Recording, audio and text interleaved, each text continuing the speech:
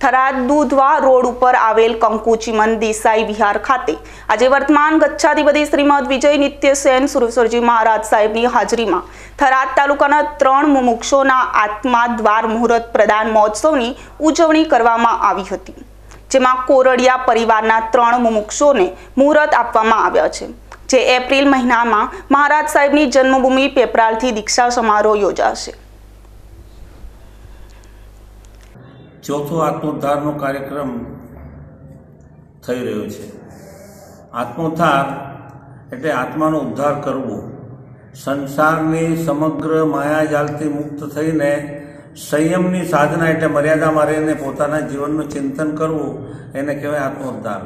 આત્મોદ્ધાર કરનાર જીવ સંસારના પ્રપંચથી દૂર રહીને પોતાનું પોતાની સાધના કરે અને જીવનને સિદ્ધિના પંથે આગળ વધારે, એ ચોથો આત્મોદ્ધાર પેપરાલના આંગણે થઈ રહ્યો છે.